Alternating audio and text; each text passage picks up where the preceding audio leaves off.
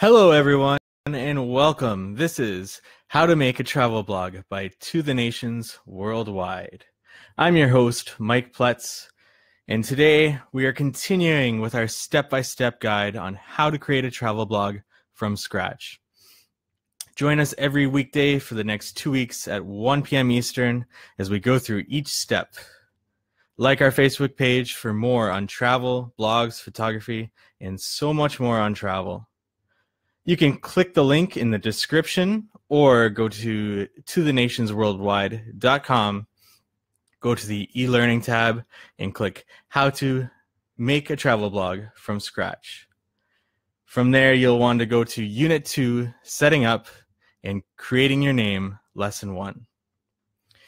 There you will find this page where we will continue from our previous lesson, where we talked about why you should make a travel blog, what to blog about, and a niche that you can fill.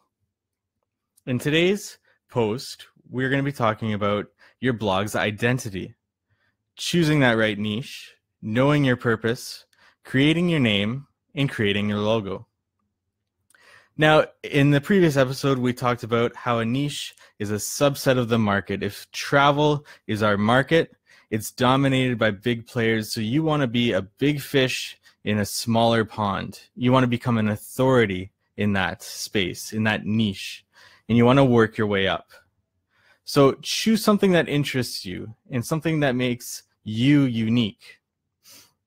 You can search online about that niche. Uh, you can see what other people's brands are around that niche. Um, you can see what the re- results show up, and you can uh, see what the share is of that market, see what other players are in that niche. Knowing what's available out there to you is the best way to find out what niche you can fill. From there, you can decide if you want to continue with that niche or if you want to find one for yourself. For example, the to the nations worldwide.com is mostly about uh, a couple travelers traveling the world and becoming digital nomads in a sense of becoming more location independent with our jobs in the pursuit of that. So from there, once you have a niche, you can create a purpose for your blog. You can ask yourself, what do you want to accomplish with your blog? At the core of a blog, it should be there to help people to provide value. If you do this, your readers will come to you, they will follow you wherever you go. But how will you do this? Well, think about your niche and think about how you can help these people. Who is it that you're going to be helping? If you can help the people in your niche, you're going to be showing them uh, different places that they can visit or food that they can eat and giving them step by step guides of how they can accomplish that. So in order to know who you're helping, you're going to want to create an avatar, an ideal person that will be reading your blog. You need to understand them from top to bottom. You need to know who they are, what do they do, what are their problems, and so that you can understand how you can help them. So, understanding who is going to be reading your blog is the best way to understand how you can help that person out. So we continue on to naming your blog. Once you've chosen a niche, once you know who you're going to be helping and creating a purpose for your blog, you can move on to naming your blog. Now, if you already have a name in mind, that's perfect. You can go on to searching online to see if that name is already taken. But if you haven't, now's the time to be creative. Now's your time to uh, to compile all, your thoughts about your niche and your your ideal reader and putting that together and jotting down as many names as possible and seeing which ones stick. Uh, think about what your logo might look like for that name and think about inspiration behind that name. This is the starting point of your brand. So you're going to want to take your time and create that name that's going to stick. Once you have that name, you're going to want to go to GoDaddy and do a domain search.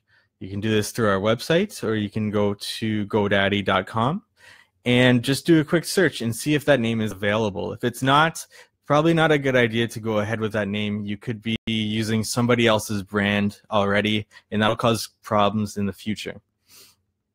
Uh, another way to do this is to search social media accounts, or uh, even doing a quick Google search so you, you know that what other brands are using uh, alternatives to your name or something similar to your name? If your name is too close to somebody else's brand you're going to want to stay away from that to avoid any legal issues in the future.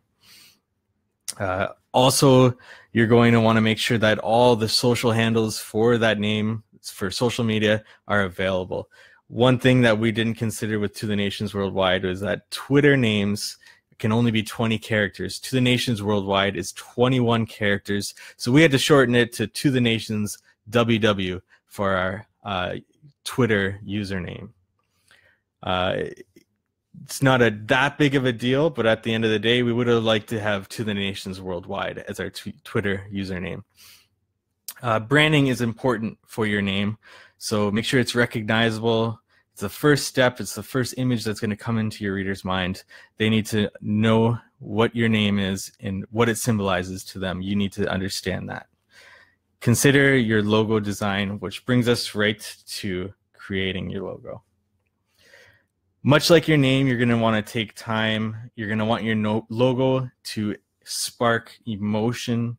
Uh, you're going to want to choose the right colors the right images that are going to be in your logo if you're having trouble thinking of a logo, you can search online for designs for inspiration. Uh, avoid similar imagery, but you can combine similar imagery. Just make sure you're being unique, you're being original. Color is important. It sparks emotion. It's your identity. So whatever color you use in your logo, this becomes your brand's identity. You're going to want to use those colors throughout your website. So make sure you're choosing colors that you like, and reflect your personality. The cheapest way to have a logo created is to create it yourself or to have somebody you know create it. Uh, my brother created the To the Nations Worldwide logo and did an amazing job. I am not one for graphic design, so I had to get somebody else to do it. Uh, if you're in that same boat, you can go to Fiverr. Fiverr is a great website that you can find a, a logo designer and you can pay them to have a logo made for you. It basic packages start at about five dollars, but for more uh, packages, they move up in scale. Also, 99 Designs is a great one that you can choose different packages. Uh, lots of different logo designers submit their design for your brand, and you're able to choose the one that you want and go from there. So those are two resources that will help you in creating a logo for your blog. That is it for today's episode of a step-by-step guide to making your travel blog. Uh, if you want to follow along for more, like our Facebook page and click the link in the description for more on creating your travel blog. Hope this was helpful to all of you, and we'll be back tomorrow at 1 p.m. Thank you. Happy travels.